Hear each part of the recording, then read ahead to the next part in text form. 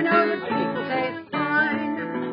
I went downtown just the other day and I looked into a dirty, dingy little bar. I saw a friend, he was just sitting there, he was had a two-bit floozy on each arm. I said, friend, you know it's none of my business, but my curiosity is now keen. I gotta know why you leave your good-looking woman sitting at home. Go out honky tonking with these floozy queens. He said, then you've been having steak for a long time. You beans will taste fine. You know that when you've been having that champagne and brandy, you're gonna settle for Thunderbird wines. Life is funny how people are strange. Man is a creature of constant.